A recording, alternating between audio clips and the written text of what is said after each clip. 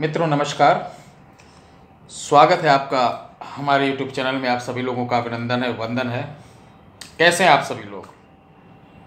आज मैं शिवरात्रि के पावन पर्व पर आपको बहुत ही अचूक, लाभदायक व तुरंत परिणाम देने वाला आपको एक छोटा सा टोटका बताने जा रहा हूँ।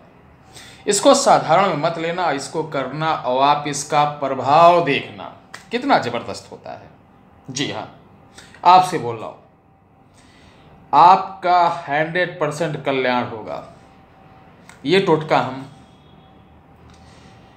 एक ऐसे समस्या के लिए जो कि कहीं से उसका रास्ता या समाधान न मिल पा रहा हो, वर्षों वर्षों से चली आ रही हो।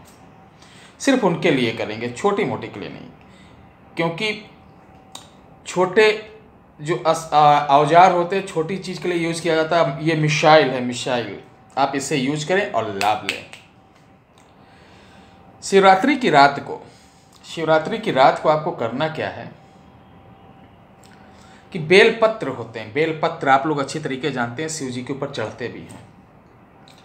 वो बेलपत्र लेना है आपको नौ। बहुत से 108 लेते हैं, लेकिन नहीं, ये जो हमारा तरीका है, मैं आपको बहुत सूक्ष्म बता रहा नौ लेना है। नौ बेलपत्र को गाय के दूध से धुलना है, ठीक है? समय छः बजे रात्र के बाद, सुबह चार बजे से पहले कभी भी कर सकते हैं। घर में नहीं करना है, जो शिव जी का मंदिर हो, वहीं करना है, ध्यान रखना। अब उन बेलपत्रों को आपने गाय के दूध से धुल लिया उसके पश्चात आपको उन सभी बेलपत्रों को क्रम अनुसार एक, दो, तीन, चार, ऐसे लाइन से नौ रख, नौ बेलपत्र, तीन पत्ती जोड़ी होनी चाहिए, वो रखना है। और हर एक बेलपत्र पे थोड़ी थोड़ी शहद गिरा देना है, ठीक है? शहद गिराने के बाद आपको एक छोटा सा काम और करना है। करना यह है कि आपको धूप बत्ती पहले से जला के उसकी राख भस्म रख लेनी है। थोड़ी थोड़ी धूप बत्ती को आप मध्यमा जो बीच की उंगली होती हमारी, उससे ऐसे ऐसे ऐसे नौ पे आपको लगा देना है, ठीक है? जब आप नौ पे लगा देंगे, अब एक एक पत्ती, यानी नौ आपके पास रखी है, हर एक पत्ते पे आपको कोई मंत्र नहीं बोलना है। सिर्फ़ ये हाथ। दहना नीचे बायां ऊपर। ठीक है? ये हाथ ऐसे रख के अपनी कोई भी मनोकामना हो बोल दो। बोलने के बाद उस पत्ती पे ऐसे ऐसे आप तीन बार घुमा दो।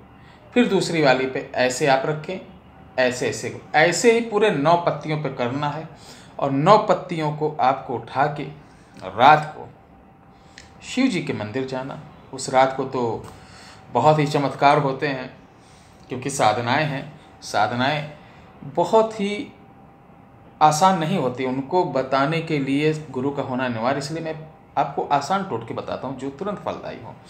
उसके पश्चात उन पत्तियों को आपको शिवालय ले जाना, मंदिर ले जाना है, शिवलिंग के पास। आपको एक पत्ती उठाना है, दहने हाथ पर रखना, अब बायां नीचे लगाना है। दहने हाथ पर रखना बायां नीचे लगाना है, और इस कदर आप सीलिंग पे चढ़ा दें। दहने पर रखना है, बायां नीचे लगाना, इस कदर सीलिंग पे चढ़ा दें। ये नौ आप बेलपत्र शिवलिंग के ऊपर चढ़ा देंगे। यकीन मानिए, ये करके चले आइए। भोले बाबा, उस दिन आपका हंड्रेड परसेंट हंड्रेड परसेंट आपका कोई भी कार्य होगा, मुकदमे का हो विदा, विवाद हो, शत्रु परेशान कर रहे हो, या आपकी कोई चीज़ चोरी चली गई हो, शत्रु को पहचानना चाहते हो, या बेटा ना हो रहा हो, शादी ना हो रही हो, या प्रॉपर्टी ना बिक रही हो, कहने का मतलब है कि किसी भी शुभ कार्य के लिए आप इसे प्रयोग कर सकते हैं, ठीक है? एक बात और, मेरा फ़ोन सुबह नौ बजे से दो बजे, तीन बजे तक का ही अवेलेबल है। मैं सबको एक बार में जवाब नहीं दे सकता हूँ, कोई बुरा माने या अच्छा माने। गुरु जी जवाब नहीं देते। मैं मसीह नहीं हूँ भाई। हमारा भी परिवार, हमारे भी बच्चे, हमारे भी समाज है। ठीक है? व्हाट्सअप पे मैं बहुत ज़्यादा किसी को व्हाट्सअप कॉल ना करें मुझे। प्रयास कर रहा हूँ या आप लोग सुझाव दीजिए कि मैं एक बार में हज़ारों लोगों से कैसे संपर्क कर लूँ। प्रयास मेरा रहता है कि ज़्यादा से ज़्यादा लोगों को संपर्क करूँ, ज़्यादा ज़्यादा लोगों को जवाब दूँ। एक बात और, हमारे कमेंट बॉक्स में मैं किसी का आलोचना नहीं कर रहा हूँ, लेकिन हाँ जो मेरे कमेंट बॉक्स में बहुत सारे नंबर आते हैं, उन नंबर पे आप संपर्क ना करें।